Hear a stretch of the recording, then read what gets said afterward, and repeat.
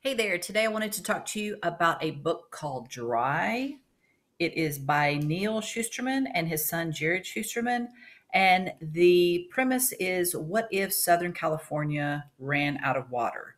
So, if you know anything about Southern California, there is Los Angeles, there's San Diego.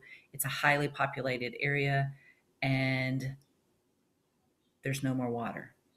So, you're probably thinking, Miss Walker, why would you read a book like this during a pandemic? Well, strangely, it made me feel better thinking, well, things could always get worse.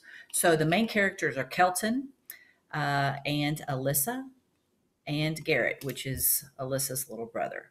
So Kelton's family um, are preppers. And so they have something in the woods called a bug out.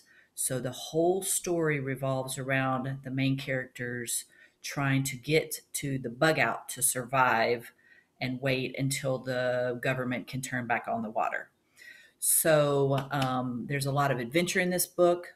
There is um, a lot of desperation when people don't have water.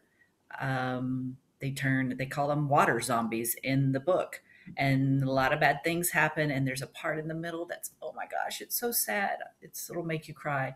Um, so this is a book. It's super fast paced it's well written. If you like to read something that moves along very quickly this is your book. So again dry Neal Shusterman and the movie's coming out too